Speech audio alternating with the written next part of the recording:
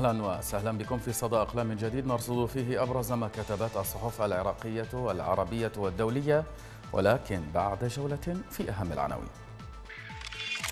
في البصائر مقتل أربعة متظاهرين بانفجار مفخخة في ساحة التحرير. في العرب الجديد العراق حراك سياسي لقانون انتخابي جديد وتعديلات دستورية. في القدس العربي الجمعية العامة للأمم المتحدة تصوت لمصلحة تمديد ولاية أونروا واعتراض أمريكي. في عربي 21 شهر على الاحتجاجات في لبنان ورفض شعبي لترشيح الصفدي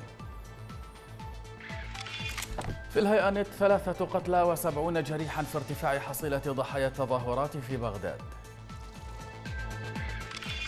في العرب اللندنية القمع والاغتيالات منهج إيران ثابت تجاه الأقليات وفي المدى القضاء بعد ضغط التظاهرات أصدرنا 377 قرارا بحق مسؤولين كبار و83 أمر قبل.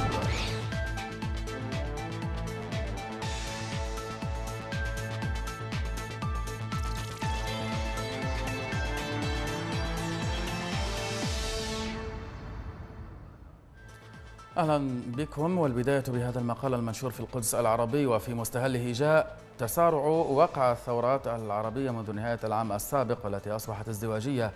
فالسودان ثارت مع الجزائر والآن العراق مع لبنان ولا شك أن المد يزيد انتشارا وتسارعا. مقال للكاتب نزار بدران.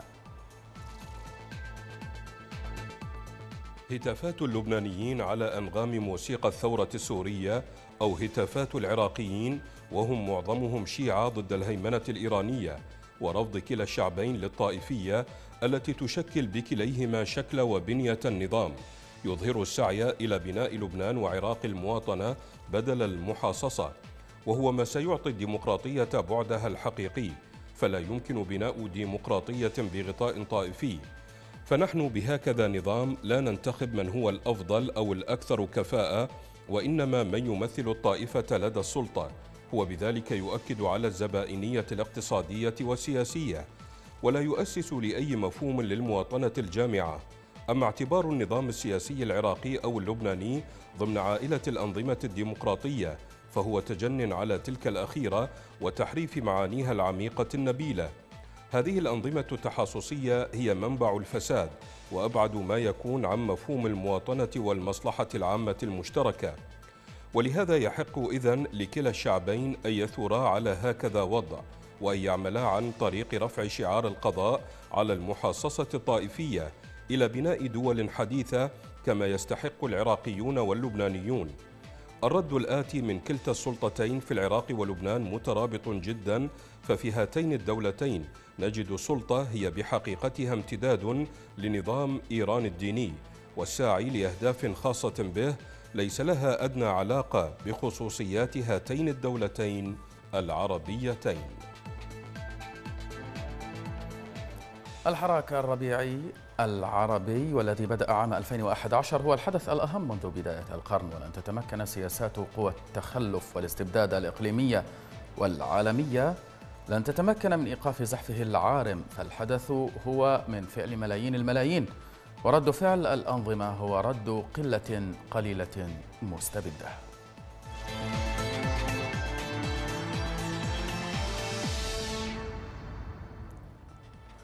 إلى مقال في العربي الجديد وجاء فيه لا يزال الحراك الاحتجاجي الشعبي يملك زخما جماهيريا في العراق ولبنان حيث يواصل الشباب العراقيون التدفق إلى الشوارع والساحات على الرغم من أن صدورهم أضحت مرما لرصاص القوات العراقية الأمنية وتعرضهم لعمليات خطف وقتل من ميليشيات موالية لنظام الملال الإيراني. وأصبح الغاز المسيل للدموع وسيلة تنفسهم في خضم تحديهم لإصرار نظام المحاصصة الطائفية. عن ثورتي لبنان والعراق كتب عمر كوش في صحيفة العربي الجديد. ويبدو أن نظام المحاصصة الطائفية في كل من العراق ولبنان لا يزال يراهن على إفراغ الشوارع والساحات في كلا البلدين مستندا إلى تكتيك قديم يعتمد على القمع والترهيب الذي يمارسه ضد النشطاء من المحتجين. المراهنة على تعب المحتجين ومللهم وشعورهم بعدم الجدوى وخيبة الأمل من استمرار الاحتشاد تقديم تنازلات شكلانية إلى جانب وعود بمحاربة الفساد والإصلاح عبر تشكيل لجان واهية.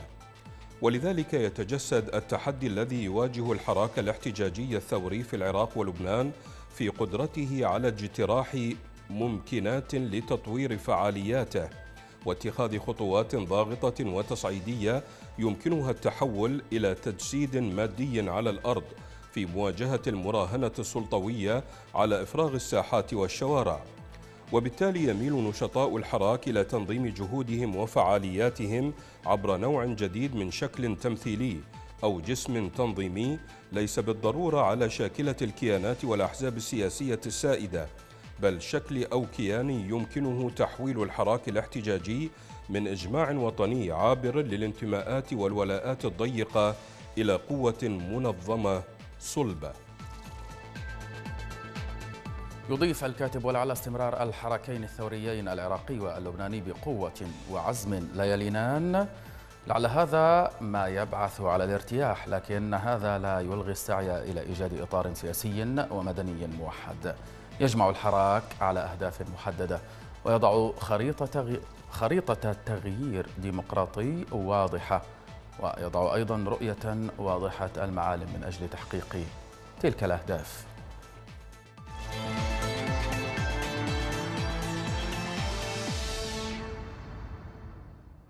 إلى مقال منشور في الحرة وجاء فيه. العلة الأهم في الانتفاضة العراقية تتعلق بالموقف من الجماعات والميليشيات والقوى العسكرية في البلاد التي هي أس مشكلة البلاد. العلة الأهم في الانتفاضة العراقية تتعلق أيضا بالموقف من الجماعات والميليشيات والقوى العسكرية. نتابع هذا المقال للكاتب رستم محمود منشور في موقع الحرة. تستميت غالبية النخب الثقافية والمدنية العراقية في سبيل خلق الكثير من التماهي بين انتفاضة العراق الراهنة ونظيراتها التي في باقي دول المنطقة كتلك التي حدثت مؤخرا في كل من لبنان والسودان والجزائر وفي عموم فضاء الربيع العربي من قبل منذ عقد وحتى الآن. تخلط هذه النخب بين تطلعاتها وتصوراتها لما يجري في البلاد وبين الطبائع البارزة والسمات العامة والديناميكيات الداخلية للحراك العراقي. فالحراك العراقي ملك نفسه ولا سلطان أو وصاية لأحد عليه. ولا تستطيع أي نزعة تبشيرية أن تجيره لصالحها. دون شك ثمة الكثير من ملامح التشابه بين انتفاضة العراقيين ونظيرتها الأخرى في باقي الدول كالسلمية والتجمهر العام وشغل الساحات العامة ومحاولة تعطيل دوائر الدولة. انتفاضة العراقيين مناهضة تماما لنخب الحكم العراقية بقادتها ورموزها وأحزابها السياسية وما يستطيل وينفرز منها من مؤسسات أو أجهزة بيروقراطية المتهمة من قبلها بشدة الفساد والاغتراب عن المجتمعات العراقية. يضيف الكاتب أن خيال الانتفاضة العراقية لا يتجاوز حدود التصدي والتحطيم المادي لنخبة حكم السلطة العراقية دون أي مس ولو على مستوى الكلام للنبع الحقيقي الذي تدفقت منه هذه النخب وطبائعها الفاسدة وقدرتها على التملص من أي عقاب أي مركزية الدولة العراقية. ونزعاتها العسكرية التي ما تزال الانتفاضة العراقية صامتة وكتومة بخصوصها.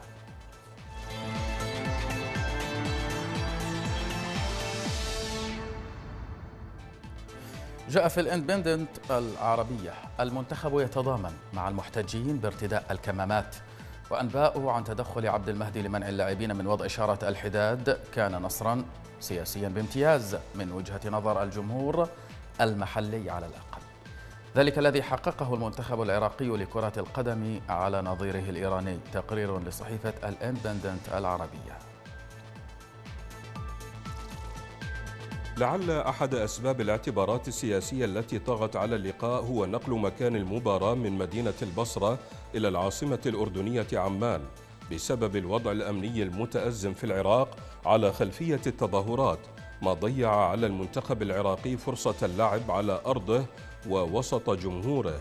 وقبل انطلاق المباراة بقليل سرب الاتحاد العراقي لكرة القدم نبأ موافقة الاتحاد الدولي على ارتداء لاعبي المنتخب العراقي شارات سوداء خلال اللقاء.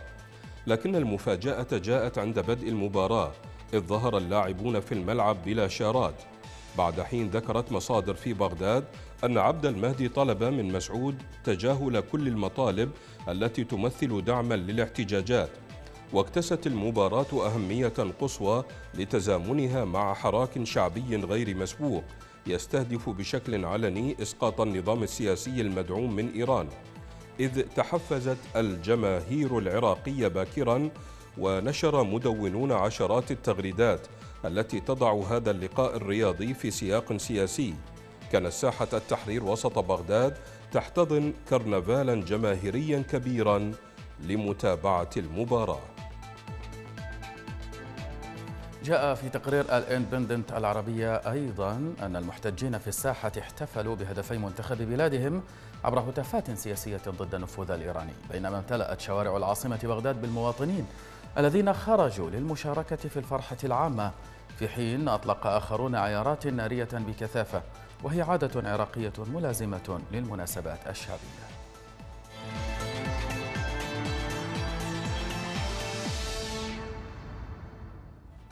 الآن إلى الأعراب اللندنية وجاء فيها لا يزال المتظاهرون يرفضون حتى الآن مقترحات الحكومة للإصلاحات الاقتصادية والدستورية ويدعون القيادة السياسية برمتها إلى الاستقالة بما في ذلك رئيس الوزراء عادل عبد المهدي كما يدعون إلى إنهاء النفوذ الإيراني في شؤون البلاد. تقرير لصحيفة العرب اللندنية حول استمرار ثورة تشرين في العراق. أعلنت وزارة الدفاع العراقية الجمعة أن هناك طرفا ثالثا من العصابات تستخدم رمانات قنابل الدخان لقتل المتظاهرين والقوات الأمنية في ساحات التظاهر. ونقلت وكالة الأنباء العراقية عن بيان لوزارة الدفاع أن ما يقصده وزير الدفاع نجاح الشمري مما وصفهم في تصريح الله بالطرف الثالث الذي يقوم باستهداف المتظاهرين وقتلهم. هم عصابات تستخدم الأسلحة ضد القوات الأمنية والمتظاهرين معاً. وأضاف أن هذه العصابات تستخدم رمانات الدخان القاتلة ضد أبناء شعبنا من المتظاهرين وكذلك ضد القوات الأمنية. ويصمم المحتجون العراقيون على مواصلة التظاهر بالرغم من العنف الذي سجل على مدى الأسابيع الماضية والذي أدى إلى سقوط أكثر من 300 قتيل. فبأقنعتهم وخوذهم وملابسهم الملطخة بالدماء والغبار يسيطر الشبان على الحواجز المنصوبة في العاصمة العراقية بغداد وهم يهتفون بسقوط الحكومة. وقال محمد وهو محتج شاب اكتفى بتقديم اسمه الأول فقط. نحن هنا للمطالبة بالعدالة. أريد العدالة لشقيقي الذي قتل على هذا الجسر وأريد العدالة لصديقي الذي قتل هنا على هذا الجسر. هيمن على المظاهرات شبان من جيل يرزح تحت وطأة البطالة المتفشية والنخبة السياسية الموصومة بالفساد وأعوام من الصراع المسلح. ورغم الثروة النفطية العراقية يعيش كثيرون في فقر مدقع. ولا يحصلون على ما يكفيه من المياه النظيفة ولا الكهرباء ولا الرعاية الصحية ولا التعليم أيضاً.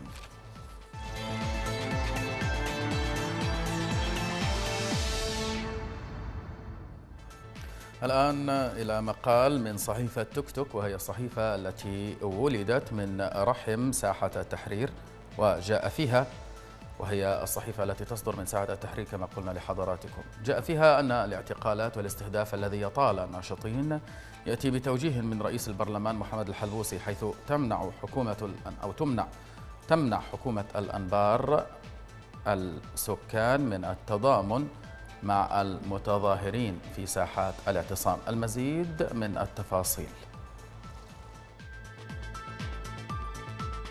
أجرى توك توك اتصالات في غالبية القيادة الحكومية والأمنية في الأنبار لكن مصدرا حكوميا أبلغ توك توك بأن الأوامر صدرت من رئيس مجلس النواب محمد الحلبوسي بضرورة الحفاظ على وضع الأنبار بأي طريقة. والمحافظ اجتمع مع قيادة الشرطة وشيوخ العشائر ووضع خطة لتكون الأنبار مستقرة وليس فيها نشاط احتجاجي لأنها الأقرب إلى بغداد وتعد طريقا طارئة لأقرب مدرج للطيران أو الحدود الأردنية.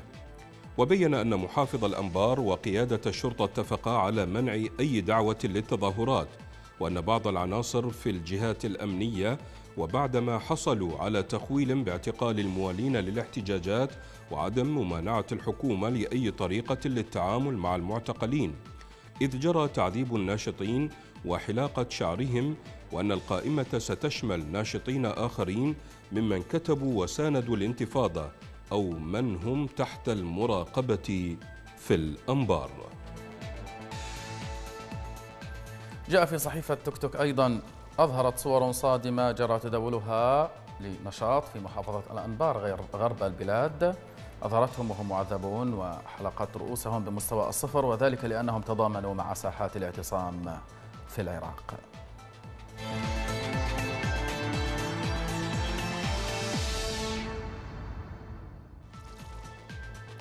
الآن إلى هذا الخبر. تعد الأعاصير من الكوارث الطبيعية الأكثر تدميرا وقد حذرت دراسة جديدة صادرة عن معهد نيلز في جامعة كوبنهاجن حذرت من أن الأعاصير تزداد شدة عما كانت عليه من قبل مما ينذر بقوة تدميرية هائلة مقارنة بما سبقها من أعاصير.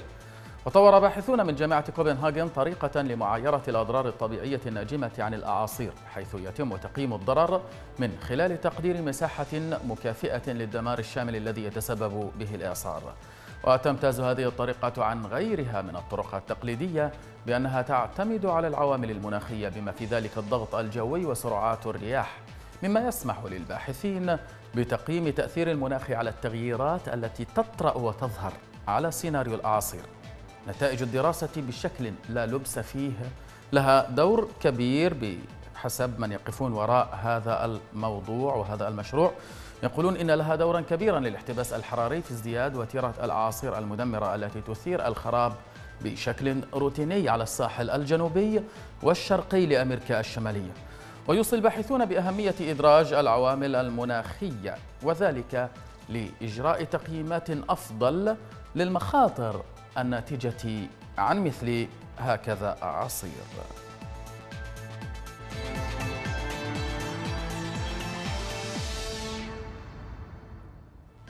إلى الكاريكاتير.